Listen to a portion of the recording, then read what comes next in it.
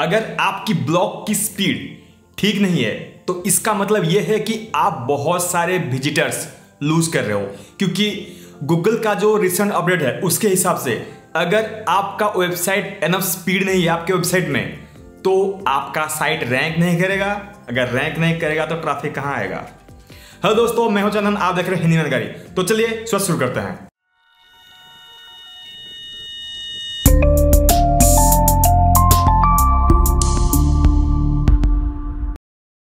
अगर आपने अभी तक हम चैनल को सब्सक्राइब नहीं किया है तो नीचे आपको एक बटन दिखेगा। उससे चैनल को सब्सक्राइब कर दीजिए और नोटिस हमारे के लिए बेल को ज़रूर दबाइए। तो वीडियो को आगे बढ़ाते हैं। आज के वीडियो में हम बात करेंगे, ऐसा क्या तीन पॉइंट है जिसको आपको कंसिडर करना चाहिए जब आप एक ब्लॉग बनाते हो। अगर आप ये सिंपल थ्री स्टेप को फॉलो करोगे तो आपका वेबसाइट बढ़िया स्पीड रहेगा। मैं ये बनाऊँगा कि अगर आपके पास पैसा है तो आप कौन सा ऑप्शन चूज़ कर सकते हो? अगर आपके पास पैसा नहीं है मतलब कम है, बिना पैसे कुछ होने वाला नहीं है। अगर आपका कम पैसा है तो आप क्या ऑप्शन चूज़ कर सकते हो? तो चलिए वीडियो को आगे बढ़ाते हैं। जो पहला चीज़ है, वो है होस्टिंग होस्टिंग सबसे ज़्यादा ज़रूरी है। बाकी आप कुछ भी कर लो। अगर आपका होस्टिंग का स्पीड अच्छा नहीं है, अगर आपका होस्टिंग का सर्वर का लोकेशन सही जगह नहीं है तो आपका कुछ नहीं होने वाला। आप कुछ भी कर लो, आपको उतना स्पीड नहीं मिलेगा। तो अगर आपको एक अच्छा होस्टिंग चाहिए तो होस्टिंग में आपको दो तरह का ऑप्शन मिलेगा। एक है N G N X server और दूसरा है लाइट स्पीड अगर आपको एन स्पीड चाहिए तो हम भी हमारे जो हिंदी में डॉट नेट है, वहाँ पे एन जी एन एक्स का सर्वर यूज़ करते हैं। आप चाहे तो लाइट स्पीड यूज़ कर सकते हो। तो उसके जो बेटर ऑप्शन है वो है डिजिटल ओशन का।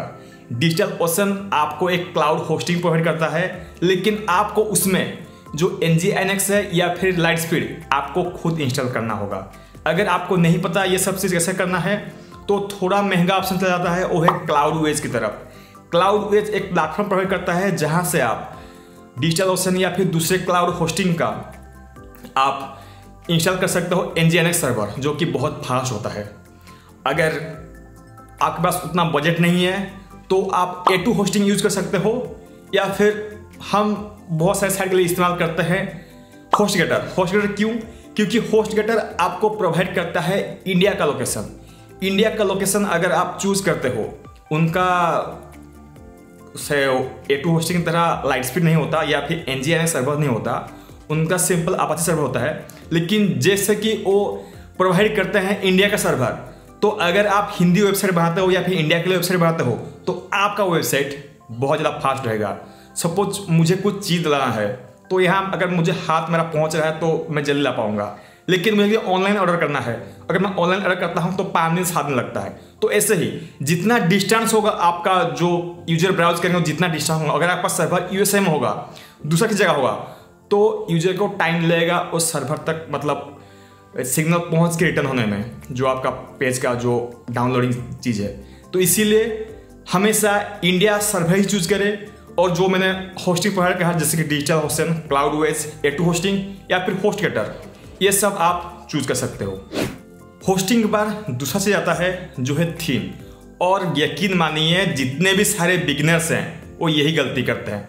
मुझे भाई, मेरा जो ब्लॉग है, वो चमचमाता दिखना चाहिए। इसमें ये बटन होगा, ये होगा रेड होगा ब्लू होगा ग्रीन होगा।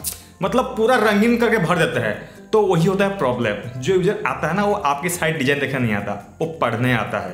तो सिंपल लाइट वेट जो है, आपको थीम इंस्टॉल करना है. कोई फैंसी ऑप्शन के ऊपर ना जाइए. आप बोल सकते हो, मेरे साइड में भी निस्बत थीम है, जो कि एक लाइट वेट थीम बिल्कुल भी नहीं है. फिर भी हम पहले से इस्तेमाल करते थे बल्कि आज तक यूज़ कर रहे हैं. लेकिन आपको हमेशा लाइट वेट जो ऑप्शन है, वो चूज़ करना चाहिए.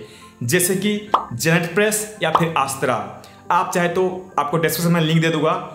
उनकी ऑफिशियल वेबसाइट या फिर हमारे डिस्क्रिप्शन हमारे स्टोर से बहुत ही कम प्राइस में आप इसको खरीद सकते हो। मेरा रिकमेंड है कि आप जेंट प्रेस यूज़ करो, आपको ज़बरदस्त स्पीड मिलेगा। लेकिन ये कोशिश मत करना कि उसको मैं ज़्यादा से ज़्यादा कस्टमाइज करूँ फुटर में ये डालो हेडर में डालो, ये मत करना। आप सभी ने एम पी एन का वेबसाइट देखा होगा। वो जैसे जेंट प्रेस का डिफ़ॉल्ट थीम है, वो लोग ऐसे ही रख दिए हैं। क्योंकि आप जितना ज़्यादा कस्टमाइजेशन डिज़ाइन के ऊपर ध्यान दोगे उसका जो लोडिंग स्पीड है, इतना ज़्यादा घटेगा। अरे ये यूज़र पढ़ने आता है, इतना आपका जो ये तांझाम देखने नहीं आते। तो ये जो बिगनर्स है, आप ये सब गलती मत करो। सिंपल ही रहना तो जितना ऐसे, जितना सिंपल रखोगे, उतना ज़्यादा फास्ट होगा।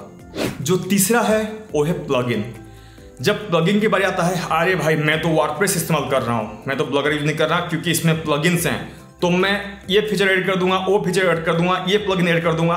तो इसमें होता क्या है कि जितना ज़्यादा आप प्लगइन इंस्टॉल करोगे, जो कि आपका ज़रूरत नहीं है तो साइट का लोडिंग जो स्पीड है, वो बहुत ज़्यादा बढ़ जाता है।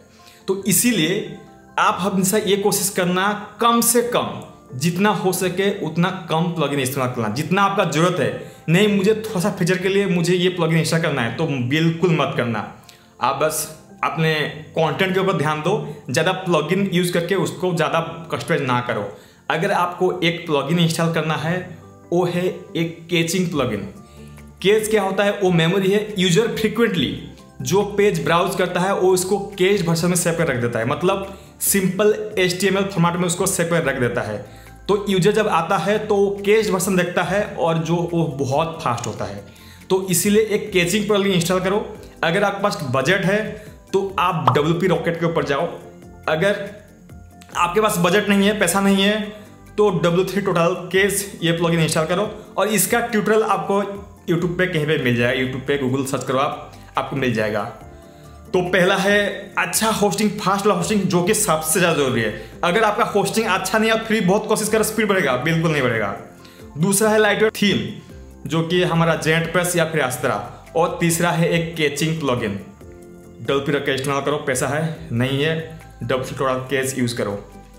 आपका साइट डेफिनेटली फास्ट होगा और तामझाम बिल्कुल भी ना करो। तो उम्मीद है कि आप सभी को ये छोटा छोटा पसंद पसंद लाइक करिए। अगर आपको सुझाव है तो नीचे कमेंट करिए। अगर आप चाहते हो कि मैं कैचिंग प्लगइन के ऊपर डिटेल में वीडियो बनाऊँ तो नीचे ज़रूर कमेंट करना। मैं डबल पी रॉकेट के ऊपर, मेरे पास डबल पी रॉकेट है, या फिर मैं दूसरे कहीं ब्लॉग पे दूसरा कोई प्लगइन इंस्टॉल करके बताऊँगा, आप बस कमेंट कर देना, क्या चाहिए। जो ज़्यादा कमेंट करेंगे, उसके ऊपर हम वीडियो बनाएँगे। तब तक के लिए बाय बाय